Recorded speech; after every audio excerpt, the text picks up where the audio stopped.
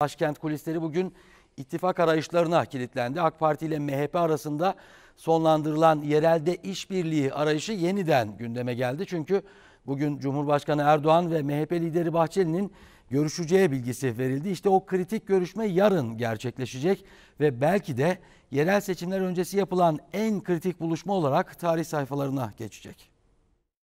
İttifak niyetimiz geldiğimiz bu aşamada artık kalmamıştır. Yerel seçimlerde madem ki biz yolumuza diyorlar biz de herkes kendi yoluna deriz. 23 Ekim'de önce MHP lideri ardından da Cumhurbaşkanı Erdoğan yerel seçim ittifakını rafa kaldırdı. Ama kapılar tam olarak kapanmadı. Cumhur İttifakı devam ederken yerelde de iki parti arasındaki dirsek teması iddiası kulisleri hareketlendirdi. Partimizin tüm kademeleri aday belirleme ve seçim hazırlıkları konusunda kesintisiz mesai halindeler. Yapılan değerlendirmeler özellikle 3 şehir üzerinde Ankara, İstanbul ve İzmir'de yerel bir ittifak olur mu? En çok sorulan soru. Çalışmalarla birlikte de önce büyük şehirler olmak üzere tüm illeri bir göreceğiz. Üç gün yoğun bir çalışmam var. Cumartesi filan olabilir. İşte bu sorular yanıtlarını ararken beklenen buluşmanın haberi geldi. AK Parti sözcüsü Ömer Çelik iki liderin yarın görüşeceği bilgisini verdi.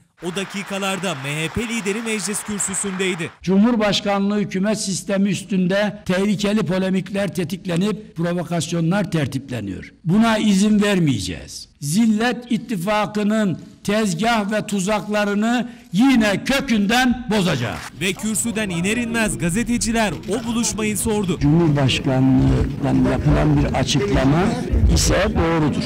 Bizim açıklamamız böyle yoktur. Ama yarın Cumhurbaşkanlığıyla çarşamba günü saat 16'da görüşme konusu gündeme gelirse katılabileceğimizi biz ifade ediyoruz. Görüşmenin gündemi ne olacak sorusuna tek cümlelik yanıt verdi MHP lideri. Gündemi davet sahibi belirler. Ve Erdoğan da görüşmeye ilişkin konuştu. Tabanın beklentisi bu dedi. Her iki tarafın açıklamalarını da zaten duyuyorsunuz. O konuda herhangi bir sorun yok. Seçim ittifakı ile ilgili bu konuyu da her iki taraf, her iki lider masaya yatırma fırsatını bulacağız. Her iki taraf içinde iyi olabilecek bir sonuca varırız. Tabanların da beklentisidir diye düşünüyorum. MHP kurmaylarına göre iki liderin grup konuşmalarında yerelde işbirliği olmayacağını ilan etmesinden bu yana iki parti arasında hiçbir temas olmadı. O yüzden yarın yapılacak görüşme kritik bir öneme sahip. MHP hafta sonu kampa girecek. Aday belirleme süreci hızlanacak. Bugün sürpriz bir gelişme de yaşandı. Mersin Büyükşehir Belediye Başkanı Burhanettin Kocamaz MHP'den istifa etti.